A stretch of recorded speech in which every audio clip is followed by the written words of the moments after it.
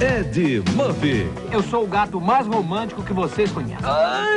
Um tremendo mulherengo que vai ter que se virar para ganhar a gata dos seus sonhos. Eu não saio com homens com quem trabalho. Então eu me demito. O Príncipe das Mulheres. Nesta segunda, na sessão da tarde.